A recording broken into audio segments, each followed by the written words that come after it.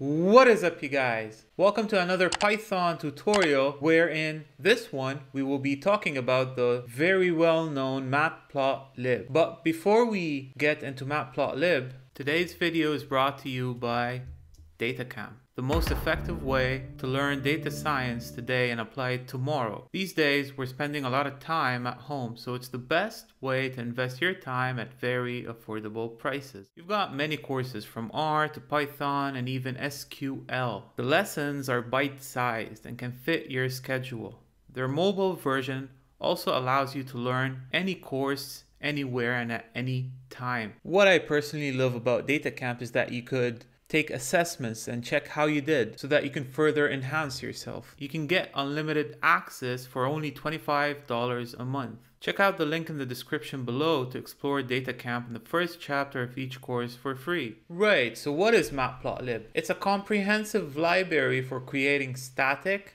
animated, and interactive visualizations in Python.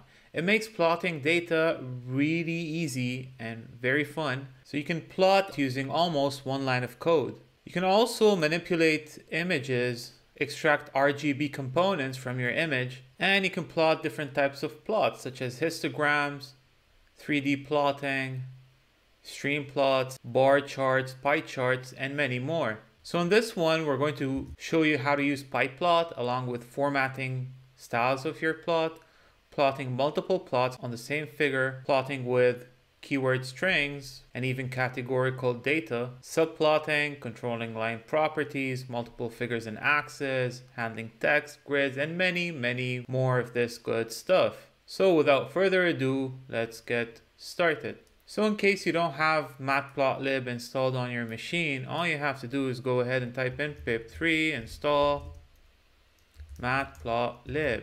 If you don't have matplotlib on your machine, this might take a while to download and if you do, you're going to see almost the same messages as I have. Okay, so now going into Jupyter Notebook, we can get ready typing in some matplotlib code. So the first thing you need to know when working with matplotlib is pyplot.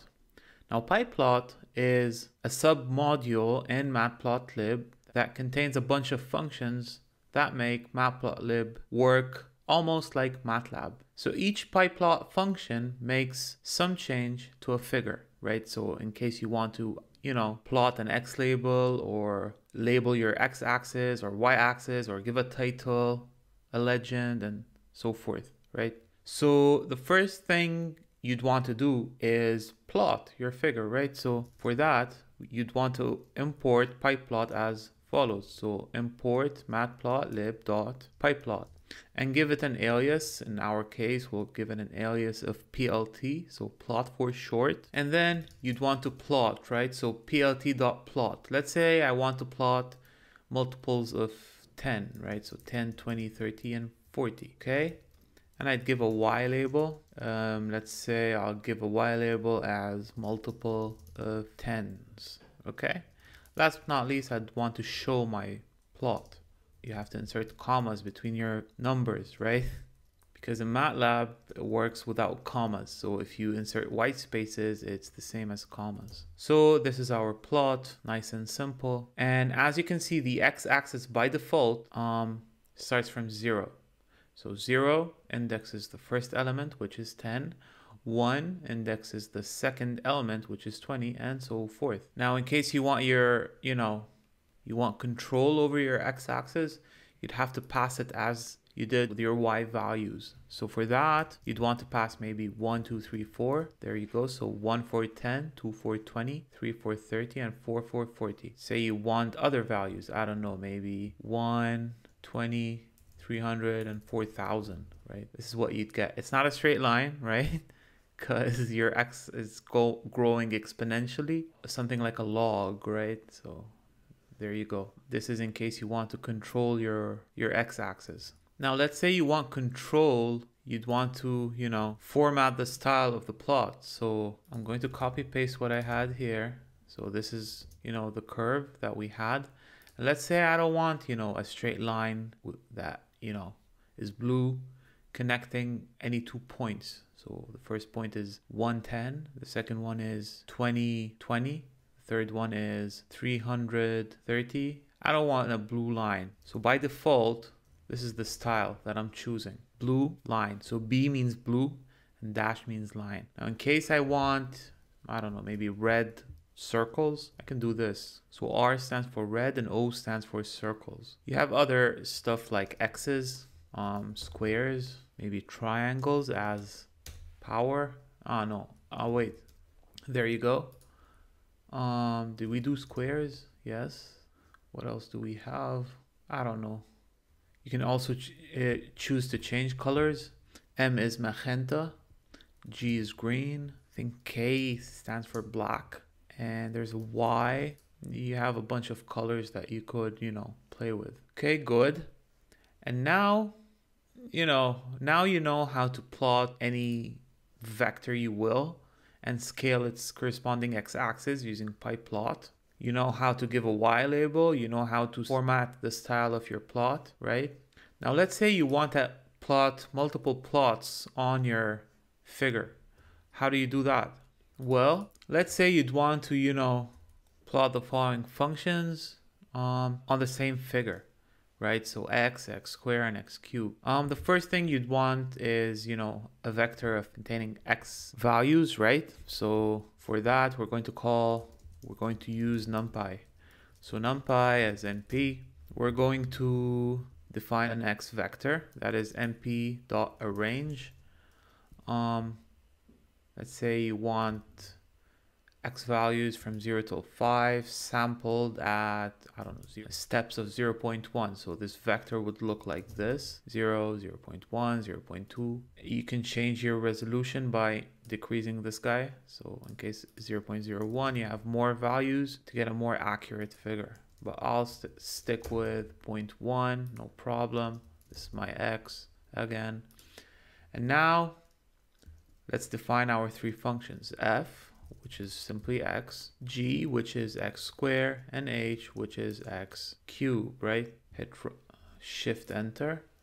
And now let's do a plt dot plot.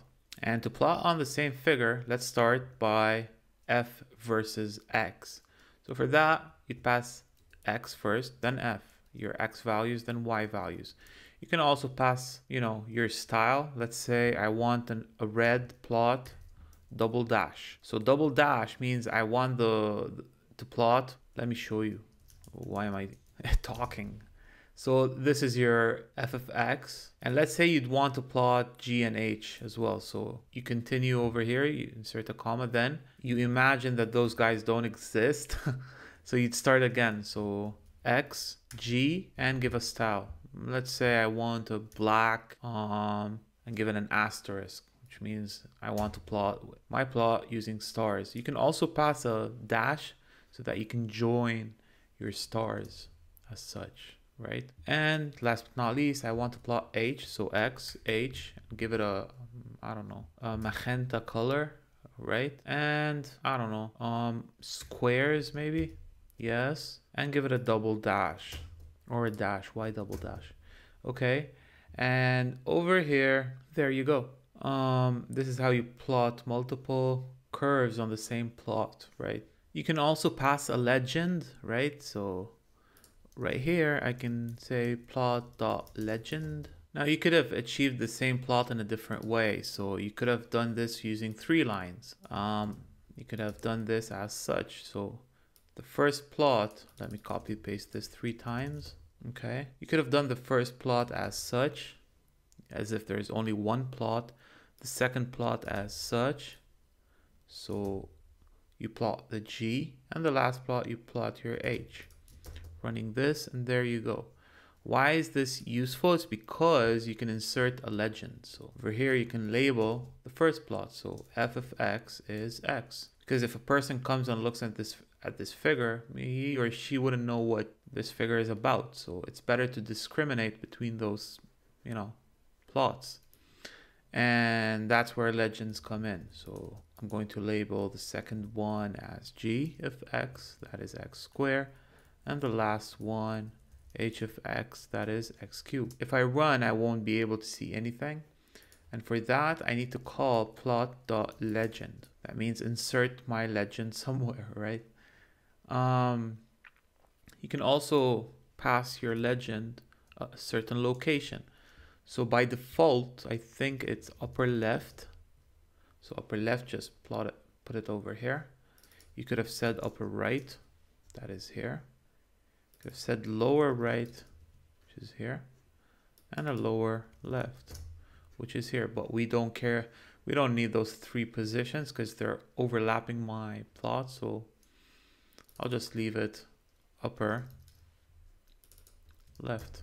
Um, you could also use nonlinear functions, right? Not necessarily um, linear, quadratic, and cubic functions. You can use any type of function. So we can define another function, let's say f1 that is np dot cosine x and f2 that is np dot sine x, right? And you know, you could plot those two functions. Um, say the first one in black and the second one in um, green. And there you go. Um, you can pass it the label as we did over here, as we did on top. Say this is f1 of x, that is cosine x. And the second one is f2x, that is sine x. Plot the legend to show the legend. And you see this annoying message? You could, you know, remove it by plot.show. Okay, looks good. Okay, good. Now you can also plot with keyword strings. Let's say you've got a data object, right, where I've got x um, defined, um, I don't know, from, so np arange, you can, you can, in case you do this, let me, here, let me show you what I mean. So if I go here, if you pass it only one number, it just counts from zero till that number. Unlike what we did over here. over here we pass it three parameters. The first one is start, second is end, and the third one is step size. Whereas over here, if you pass it only one number, it means count till that number is starting from zero with steps of one. So this is actually the equivalent of this, right? Not to this number, to this number minus 1, right? So, so 50, count of 49.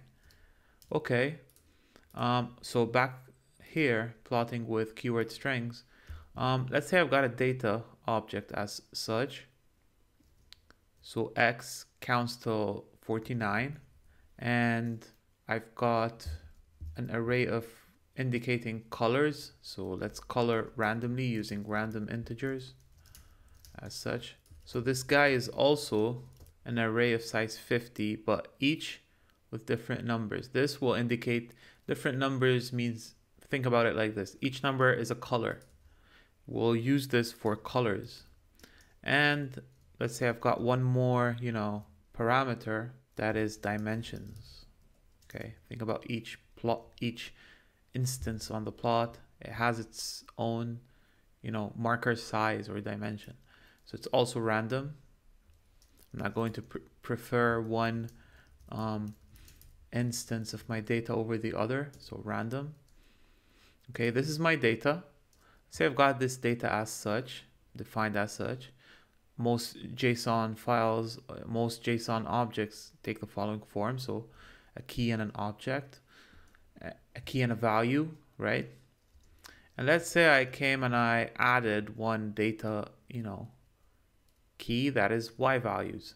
So let's say for no reason I pick them to be my x. So this is y equal x, right? Say I pick this. Let me multiply here by a 100 and then take an absolute value. Why am I doing that? It's because the size should be positive. So I take an absolute value and I scale by 100 so that we can see the different sizes. Okay, and now you can actually plot using the scatter. You plot first X and then Y and your C, which stands for colors, is the colors. And your S, which is marker size, is actually in the dimensions. last but not least, and the most important part is to pass the data. As you can see, they're very small and there's an error over here telling you invalid value encountered in square root. Well, that's because over here we've got positive, negative sizes, which is not allowed. So correcting this by taking the absolute value of normally distributed numbers would give you a positive size, but they're too small. So let's scale this thing up, multiply by two, still small, five, also small, 10, still small, 100, not bad. But they're overlapping because, uh, of course, because what I'm doing is plotting y versus x. Well, let's add some noise over here. np.random dot some Gaussian noise. Be careful, the size should be the same as x and y. And there you go. They wiggle around a bit. To wiggle more, just multiply by something bigger, right? That's the variance. To increase the variance, times 4, times 10, times 100, and there you go. So we're actually using keyword strings to plot on a scatter plot. You can also give an x label, x values, and a y label, y values. And to get rid of this annoying text, you could run plot.show, right? And there you go. Looks good. Be careful. Each time I plot, I get a different plot. And that makes sense because each time I'm generating different, you know, noise or random numbers over here. Now, let's say you want to plot using categorical variables. Well, matplotlib allows you to pass categorical variables directly to many plotting functions. For example, let's say I've got, I don't know, three categories. Say group A, um, group B, and group C. So you've got some values attached to each group. I don't know, maybe you're measuring the number of votes in each group or the stock price or the closing opening price. I don't know. Say it's 1, 20, 50. Um, well, there's many types of categorical plots that you can do. First of all, you can do a bar plot. So a bar plot is a histogram. Um, you pass the bin labels along with their corresponding values. And there you go. So A takes 1, B takes 20, and C takes 50. Do a plot dot show to, you know, get rid of the annoying message. Now you could also have done this using plot dot scatter. You pass the names and the values and there you go. So A takes 1, B takes 20, C takes 50, right? You could also have done this using the plot dot plot. So names, values. There you go. The x axis is labeled as group A, as labeled according to the names, right? So what you should keep in mind is that when you're using plot, the x values need not only be integers or real numbers or whatever. They could also be string or characters or um, describing different categories, right? You could also do some subplotting. What that means is that on the same figure, you can ins insert multiple figures. So having figure one on the extreme left, figure two in the middle, figure, figure three on the right, you could do that. And let's say I want those three figures. So figure A figure B and figure C in the same plot. So how do we do that? Um, you could open a subplot as such and give it a different ID. Okay, so now let's plot those three figures. I'm going to copy paste what I had. So this is the first one. The second one is over here. So plot dot scatter, put it here. And the third one is a plot dot plot. I'll put it here. And there you go. To get rid of this annoying message, just run plot.show. There you go. You can give a title, so plot.title, categorical plotting.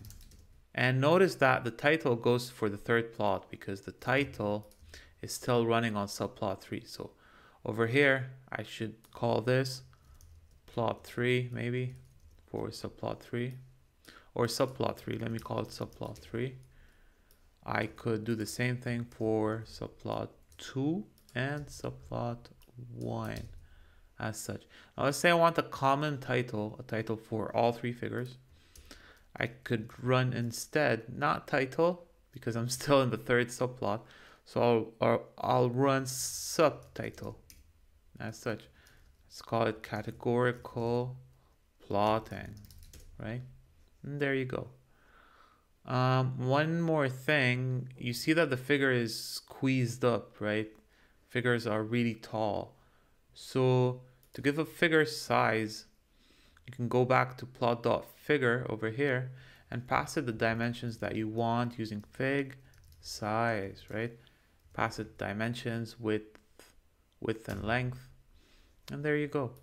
In case it's really tall, in case the it's really, really tall, you can see the scroll down feature because it doesn't fit in one cell. So let's decrease that back as it was. It's still really tall, not so good. There you go. Okay, this is short, but 9.4, super.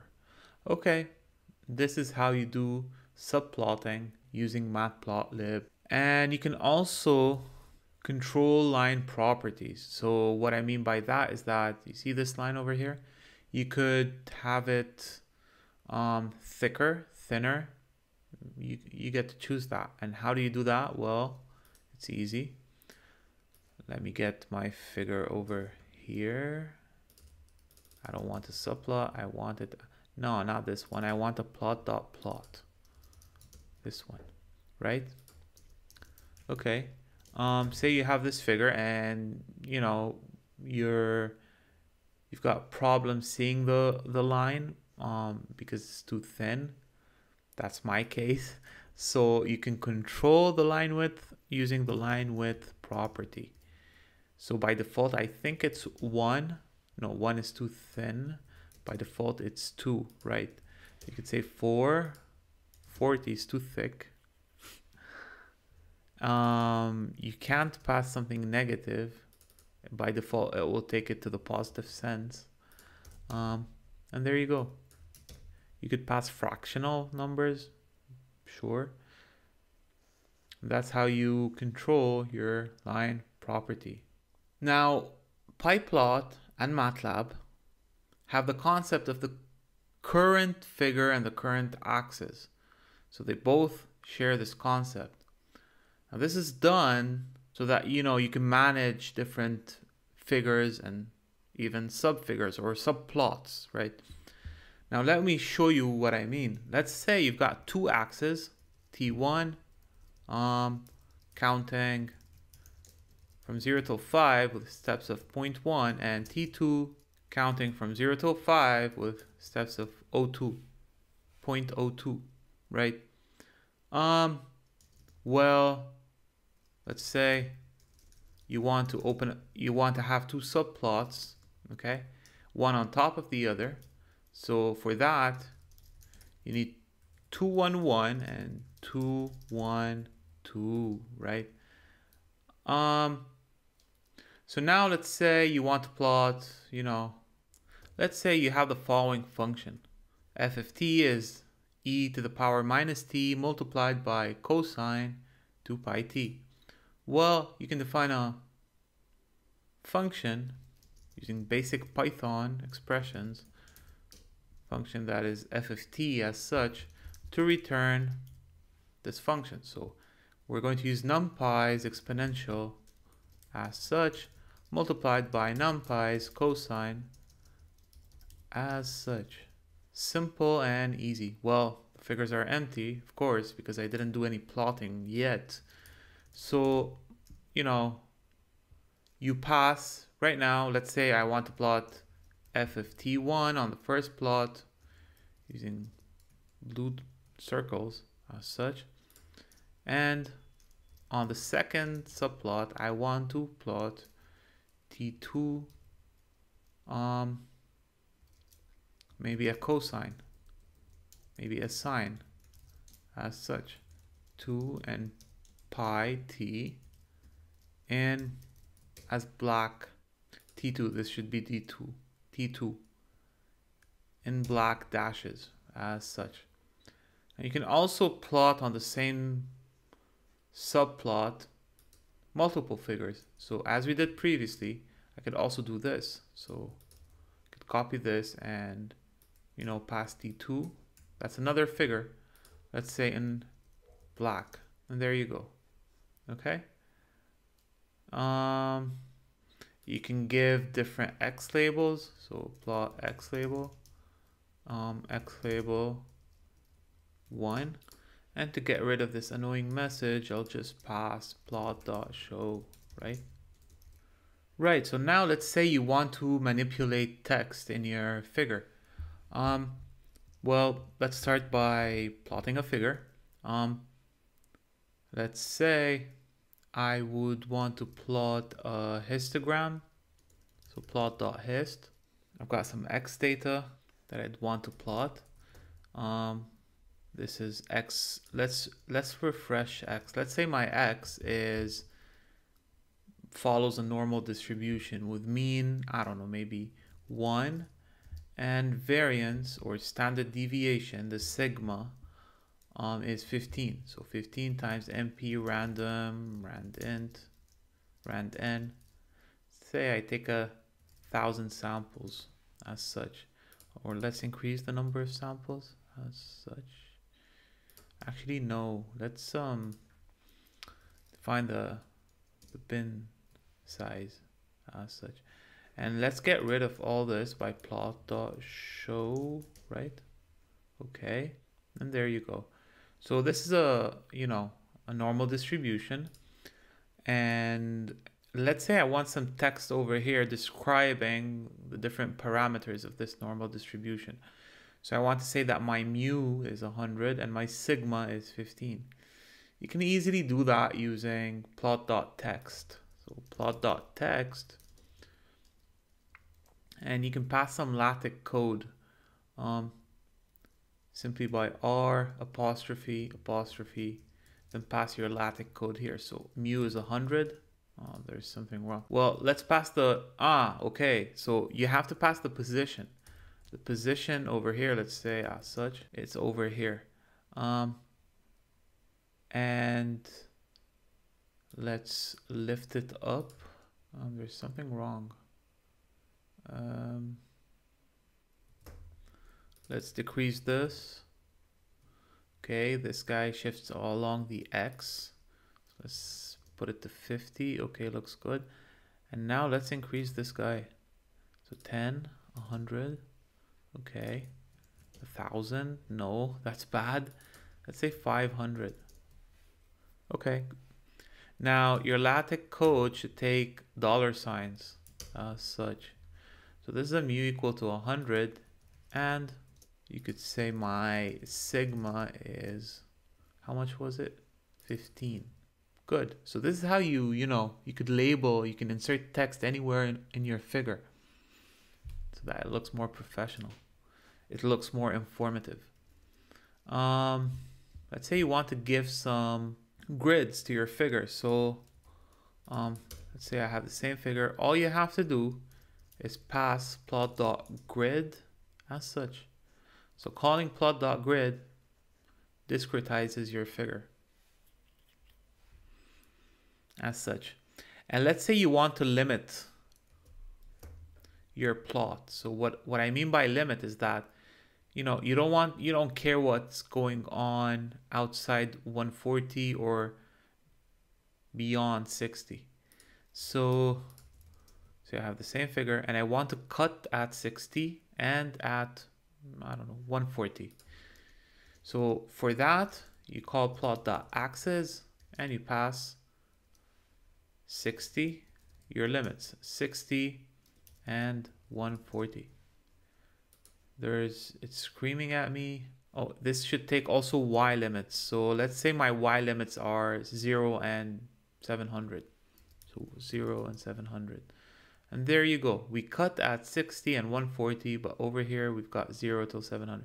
And notice that how this guy moved, of course, because dimensions of the figure changed. So I'm going to shift it back in. Um, where was that? Okay. 50, maybe it could be 70. No, 60 maybe. 65. okay, there you go. And let's say I limit my y-axis to 600. There you go, looks good. You can also annotate text with arrows, right? So let's say you've got a sine function or a code. Let's define a t again, 0 to 5 with steps of 01. And let's define an f, that is cosine, okay?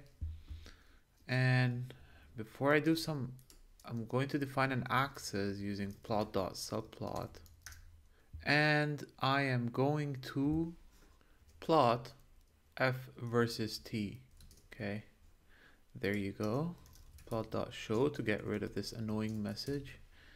And to annotate, all I need is plot.annotate. And you pass it the text that you want to show. It's yelling at me because I'm not done yet. One required positional argument xy. So you have to pass it the xy, tell it where you want your, your text. To 1 over here. And you can also pass xy text as 3 1.5 so 2 1 is a peak right? It's a local maximum. This is where I want my arrow to be pointing at. I don't want my text over here and that's why I pass xy text as such. So xy text is now at 3 1.5 right um let me give you know let me change the the axis or let me limit my y-axis between minus 2 and 2 so that the figure covers local max as such, right? And, you know, last but not least, I want to, you know, have an arrow pointing at towards this local maximum 2, 1.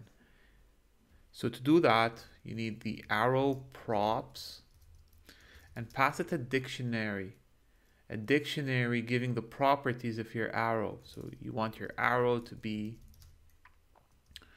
black, maybe. And there you go. You can also shrink your arrow using a certain factor. And there you go. You could also be pointing towards this maximum. You could change it to 1, 1. Or this maximum, you can change it to 0, 1 you can also point towards multiple maxima at the same time. So I'm going to copy paste all this as such. And you could also be pointing towards multiple maxima at the same time. So you can copy paste all this.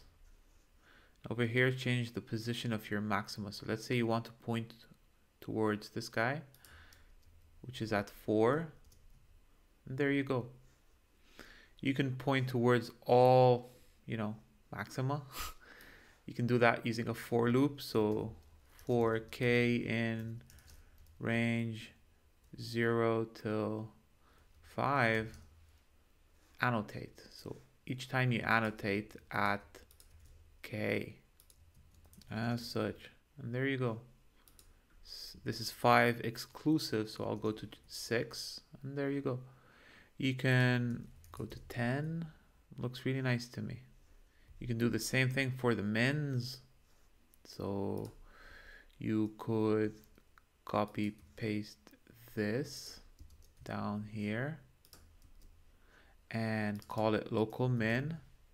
Be careful, you need to be pointing at minus 1 this time. And the x values are no longer k this is a cosine function, right? So the cosine is at minus 1. The cosine 2 pi t is at minus 1 at multiples of half, right? So at half, that's the first instance where the cosine is minus 1 at the local minimum. And the other one is 3 over 2 and so on. So this guy should be multiplied by 0.5 and add 1 to it, right? And over here, I don't want it at 1.5. I'll put it at minus 1.5. And there you go. I think there's a small mistake that we did. Um, let me decrease the, you know, the x-axis. We have a mistake, and what is it? Oh, this counter is wrong, so it shouldn't be as such. It should be as, how do you do that? So we need to count half, then 1.5, then 2.5, and so on. So all I need is k plus 0.5. And there you go. We're pointing towards the local minima. So that's really how you annotate on in matplotlib. Now let's say you want to scale your y-axis, right? Let's say you've got a function, um, or you've got some data, say np random normal located at 0.5 scale 0.4 say we've got a thousand samples okay and you know you you're going to pick those y's that are either less than zero that are either greater than zero or less than one right? And you'd sort them. Let's see how my y's look like right now. So plot dot plot y. So this is my y. Okay so this is on a linear scale. All I'm doing is plotting my y's. That's it. This is a linear scale I'm going to open a figure. And on that figure on the first subplot I'll plot y versus x. And what is my x? It just it's just an index. So it's counting till it's just indexing. So nothing fancy right so let me give a title over here saying that what I'm doing is I'm plotting on a linear scale okay and let's do a plot dot show and let's try to give a fig size as such right and a plot dot grid. Okay, so this is a linear scale. Let's say, oh, and by the way, the, the, the way you control the scale is through plot, let's say you're scaling your y-axis. Y scale is by default, by default, it's linear. So just that you know. Okay. Now I'm going to copy paste all this over here and on another subplot, I want to plot on the so-called logarithmic scale. So I'm going to change the title. So on a logarithmic scale. So what I'm doing over here is instead of taking, you know, those values, I take the log of those values. So as you can see here, 1 is 10 to the power 0, minus 1 is 0 0.1, so 0.1, it's over here. So you know, you, you, you're plotting on a different scale. So this point over here is now this point. This point over here is still this point. Um, if we zoom in over here, the 0.01 is now this point and so on, right? This is the so-called logarithmic scale. You've Similar to the logarithmic scale, you've got the symmetric logarithmic scale or the sim log Symlog, oh, sorry, this one is a 2-3. The symlog needs a linear threshold, which we set to 0.01. Okay, the symlog actually is dedicated for not only positive but also negative values. So for that, we need to scale our y. We need to have negative values. So so let's scale our y, let's subtract the mean of y so that we have negative values. And one last scale I'd like to mention is the, okay, let me copy paste all this right here. And it's the logistics scale as such, right? Ooh, this didn't there's an error not an error but an, a mistake in it's not it's not plotting them it's not ticking correctly but you get the point. So with different scales, you can different scales could be achieved with the plot.y scale. Now let's say you've got some figures um, stored in a certain directory or in on some website and you'd want to read them and show them or read and display. So for that, you'd want to use imread, that is read a figure give it or give it to me as an image, right? Maybe to do some image processing with it or I don't know. And then you'd want to show your image using imshow. So I'm going to use images in matplotlib's cbook. So cbook has some sample images. So the way you could read sample images from cbook is as follows. Get sample data. And over here, you've got a lot of, you know, data. Let's say I'd want the grasshopper.png as an image file. And to read the data, all I have to do is plt.m read the image file as such. So now to display the figure or the image, all I need is to call imshow. But imshow is called on the axis of the figure. So imshow, let's say I've got subplots. I call ax dot imshow of my image. And there you go. Now, those sticks are useless. you can turn them off as such. And to get rid of this annoying message, you call plt.show, right? Now, why is this useful? You have the image as, for those of you who don't know, any image could be expressed or as a 3D matrix containing RGB values. There you have it. And this is our image. Um, you could manipulate the image. For example, let's say I want to crop this image. I want a circular, you know, image, like the icon of my YouTube channel, right? So all you could do it, all you need is to call patches dot circle. So for patches, you need to import matplotlib's patches as patches. And you could pass the center of your image um, pass it the radius and the transform that you want. There's many transforms. So for that you pass the axis dot trans data okay um, we need to save this patch okay and now we need to set it so clip path using the patch. Oh, here you have to pass im as such. Okay, and there you go. So let's say you give it a bigger radius. There you have it. Of course, when the radius exceeds the, you know, the image dimension, you're not going to see a perfect circle. The radius should stay within the image, right? So let me decrease it more, even more. 200 there you go. So you want to play with this.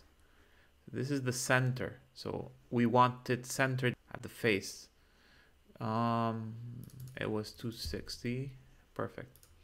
Okay so this is how you use im read and im show actually im read and im show have a lot of cool functionalities for example you could produce barcodes using you know, those complicated barcodes. So you could play with barcodes or generate your own barcodes using imshow. So to do this, let me show you what I mean. Let's generate some random data as such and take a threshold of 0.7. Okay. Um, so your data is either true or false. For those of you who don't know, um, barcodes contain, you know, binary data, right? So if it's black, it's true. If it's white, it's false. Or the other way around. I'm not sure about the, the, the logic. But it's either black or white. And you've got many, you know, places to place your black and white bars, right? So for that, we're going to use X to generate our barcode.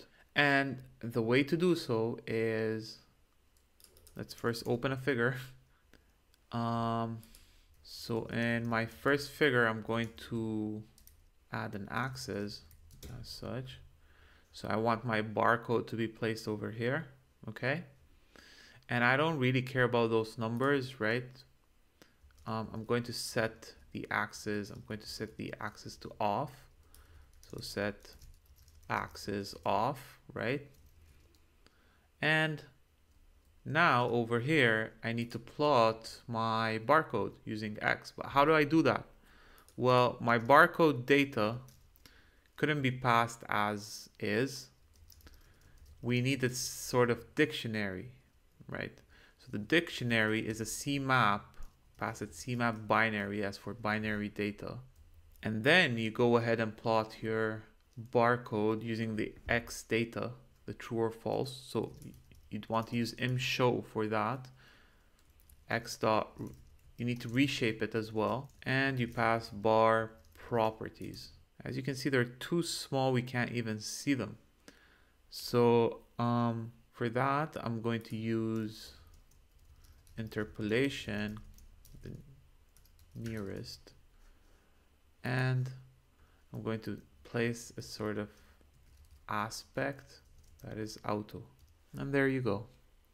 So this is a barcode generated using X. Of course, you could have generated other types of barcodes as such. Or, oh, sorry about that. We're not generating different X's. I'm just running this cell, so I need to insert this here. Delete this. Now it's empty because rand returns a number between 0 and 1. So white is false. So let's set it to 0 0.9. If you want more blacks, you should decrease this. And there you go. An acceptable number is something around 0.5 or 0.7. And there you go. You could also have chosen to lay this barcode um, horizontally. Um, you could have done so using, let's create another axis, um, axis 2. Um, let's pass the following numbers. Still vertical. This is a good region. Let me set the axis to off, right? And now using the same thing, what we did, but now on axis two. And there you go. Oops, we did a mistake. What is the mistake? It's by the reshaping. So now you need to reshape the other way around, okay? There you go. Each time we have a different barcode, but the same one is placed vertically and horizontally right? And last but not least, plot.show to get rid of the annoying message. So this was a barcode demo showing you how to generate your own barcodes using Matplotlib's very own imshow or image show. Now you can also work with layer images. For those of you who work with photo editing and or video editing, um, this is a really good functionality and it's good to know where or how to manipulate images using layers. So layer images is when you, you know, place one image on top of the other and you give each one a different alpha blending, right? So let me let me show you what I mean. So um, let's say I've got x-axis, np arange from minus 3 till 3 with steps of 0.5, 0.05. Likewise, my y is the same as my x. Let's define a mesh grid. So mesh grid could be accomplished using NumPy's mesh grid, right? And now let's take the edges, the extents, min x, min max x, min y, and max y. Now let's take a figure, plot dot figure, and on that figure, we're going to m show the first figure that is, um, let's say I've got the following info, So let's say I want a certain chessboard. Um, I'd have to take the modulo 2 of this thing see how it looks like. There's a problem. Okay, this is not an M show with an O, not a P. And there's another problem. This guy is not out, it's outer. And there you go. This is a checkerboard or a chessboard, whatever you want to call it. Uh, so let's change the color map. So C map, uh, I want it to be a bit grayish. And there you go, black and white. So you call color the gray color map. Um, let's set the interpolation to nearest. Right, so this is my first image, okay? Now my second image, M2, is going to contain another information. It's going to contain a certain function, okay? A certain function.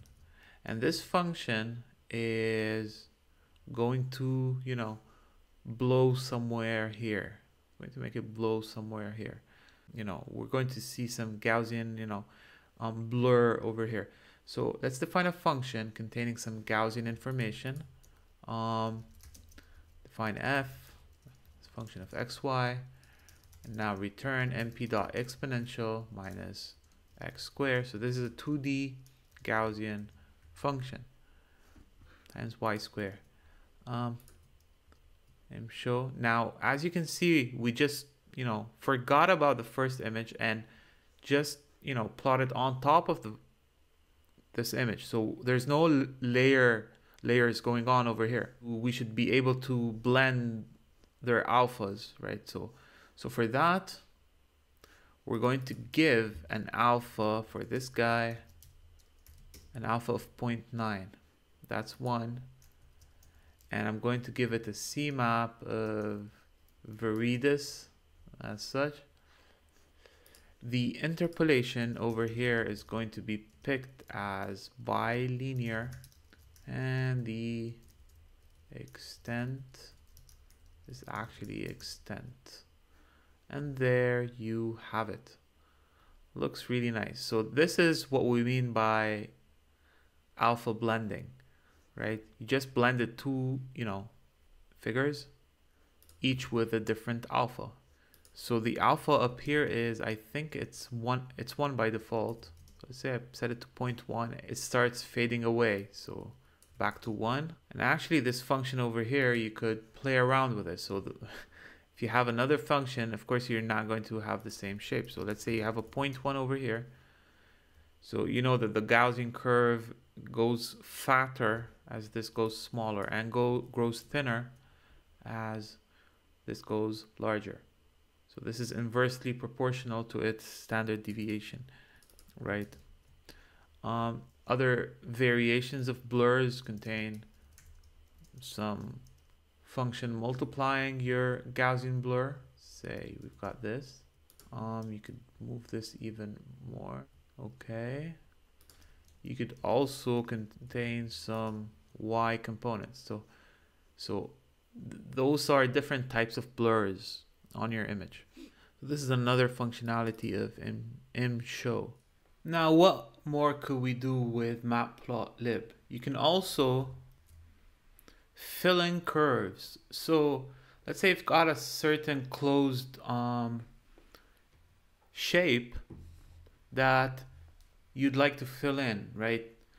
Um, and what I, for shapes, I'm going to give you a really nice example. If you go here on Google and type in the Koch snowflake.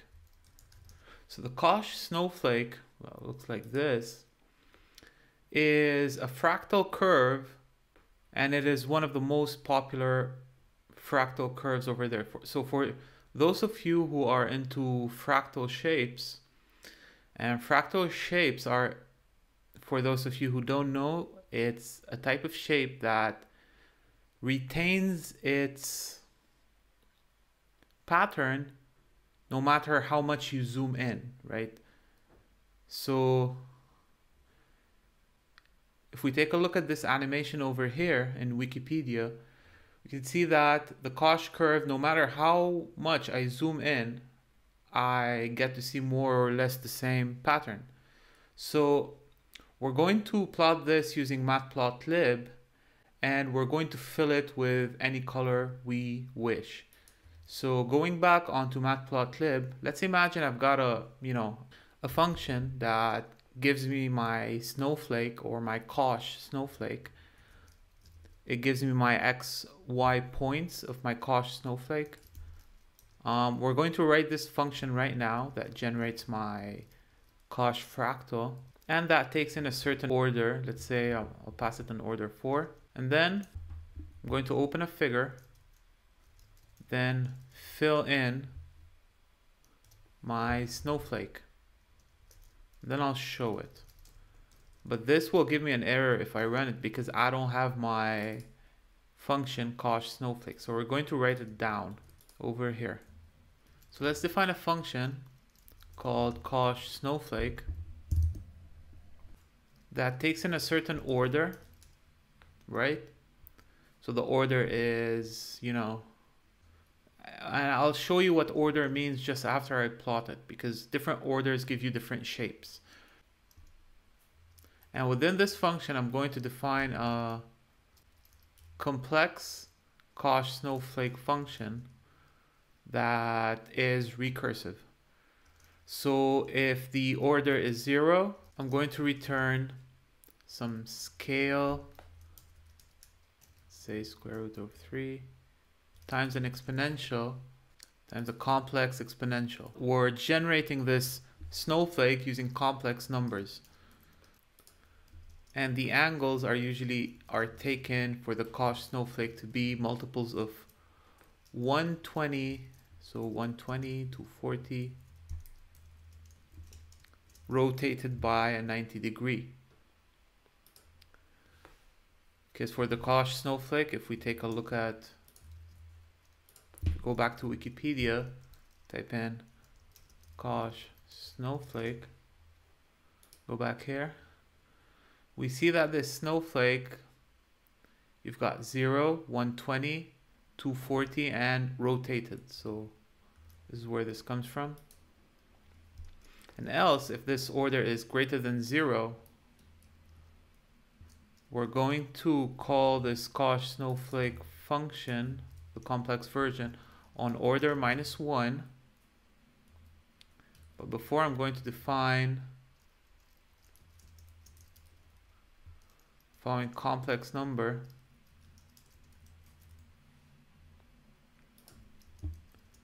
and after that I'm going to roll and shift by minus 1 then I'll take the difference in points to connect the vector. So P2 is my endpoint, P P1 is my starting point. And then I'll generate new points,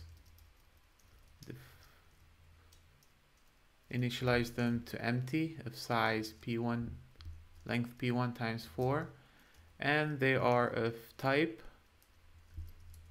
NP complex 128 bits. Then I'll fill in P1. Let me copy paste this down here. Then I'll fill in P1 plus dp over 3. And then P1 plus dp times zr. Then following and then I'll return my new points.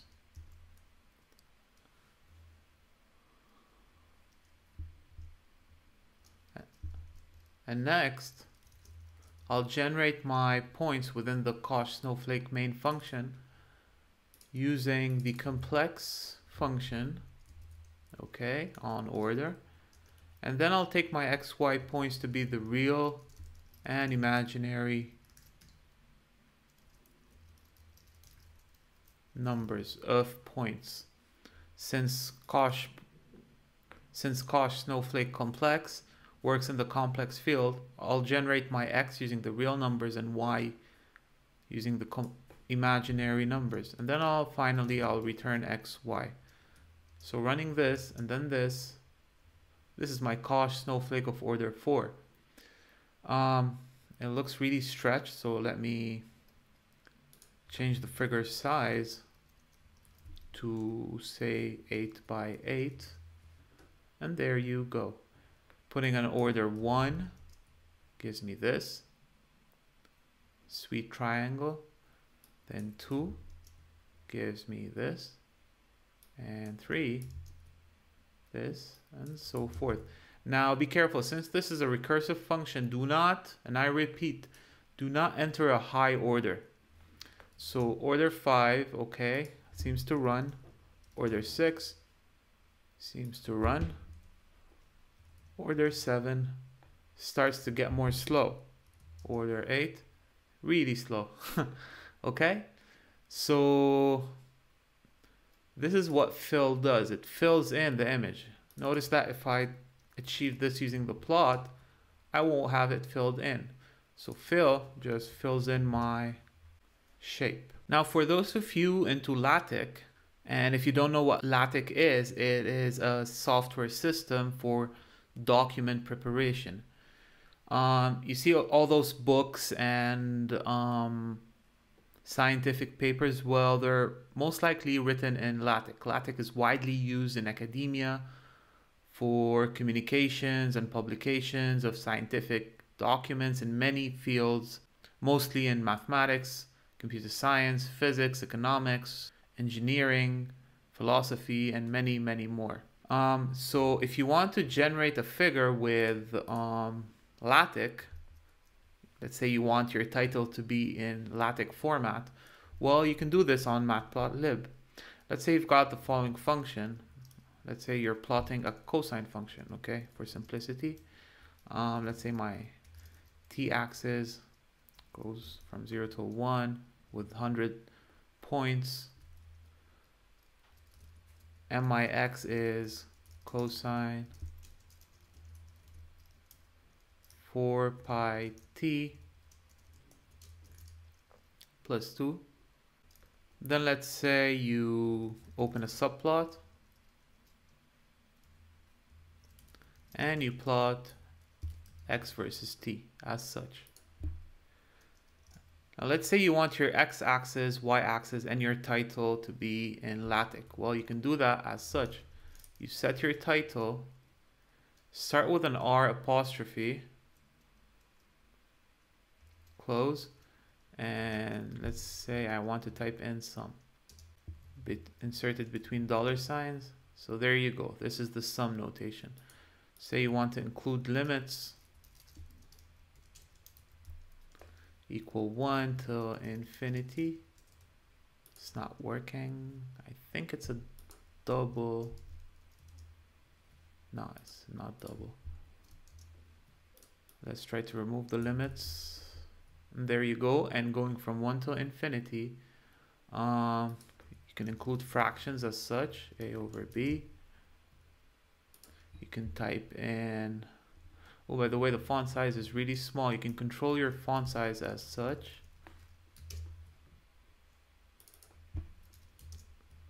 Okay. You could also change your color. Let's say color equal B, blue, right? You could put in powers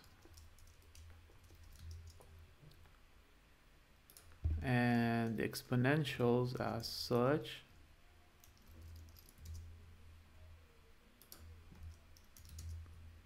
This IPy. And there you go. You can also set your X label. Again, R double apostrophe. You can put time in seconds. There you go, LaTeX formatted. You can also give a bold face as such. Boldface is not working. Well,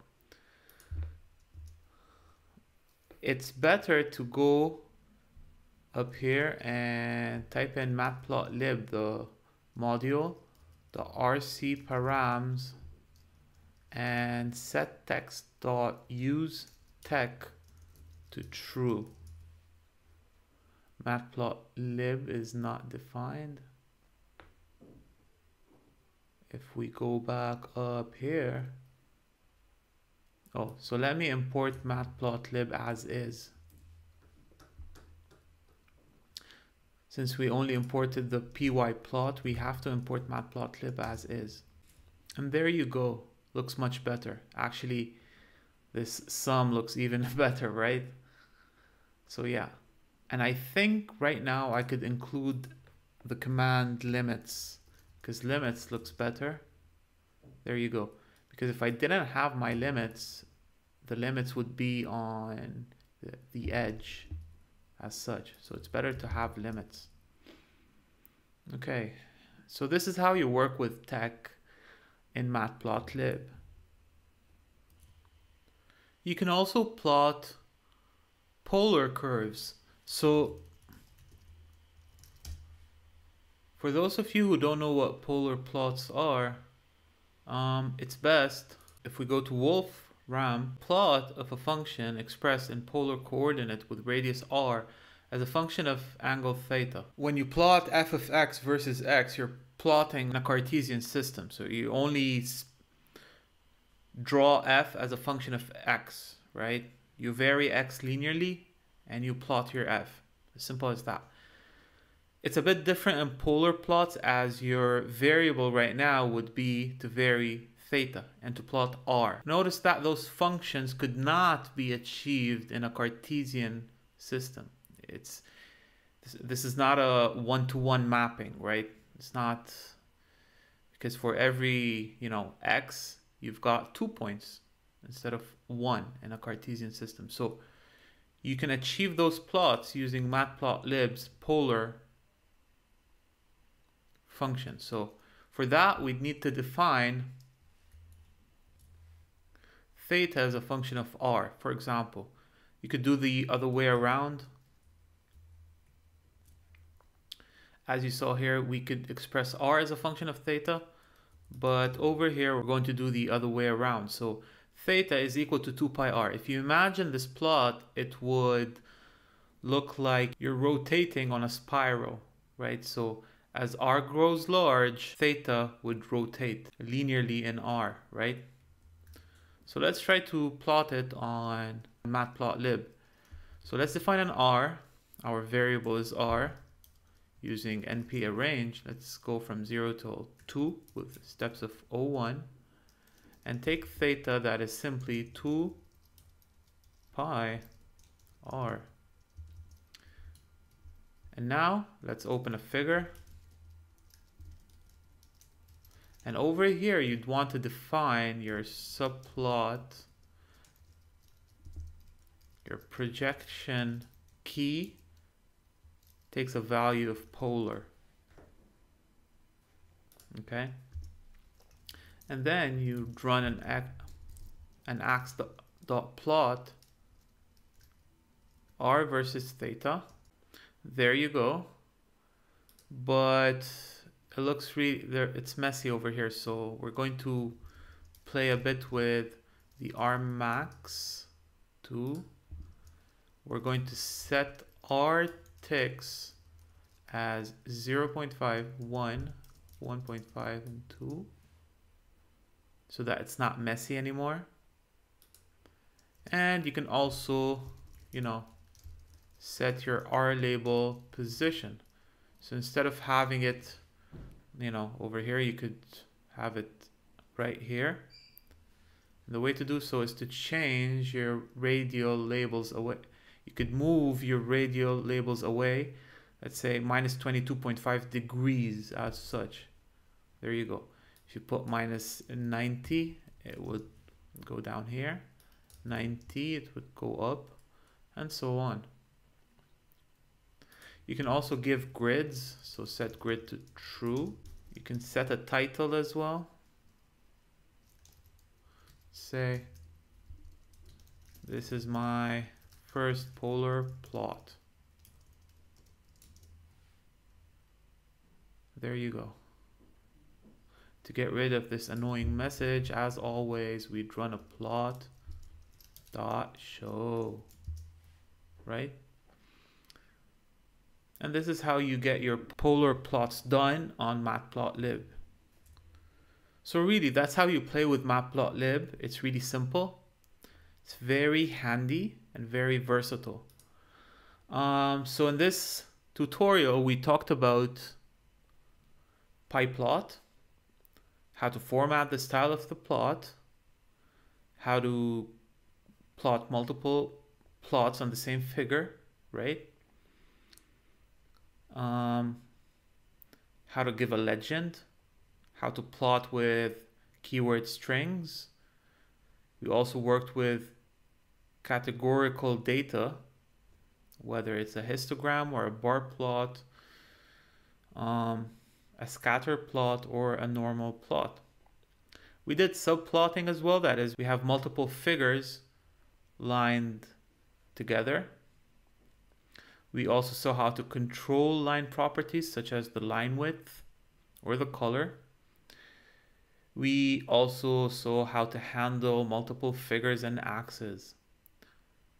Moving forward, we talked about handling text. So in case you want to describe your figure in a more fancy way, you could do so using matplotlib's plot.text. Moving forward, we talked about grids, how to limit your plot, whether it's on the x-axis, y-axis. And if you want to be more specific, you could annotate text with arrows. Let's say you want to show where your local max and min are. You could do so using matplotlib's annotate function. You can also plot using different scales, whether logarithmic, symmetric logarithmic, or logistic.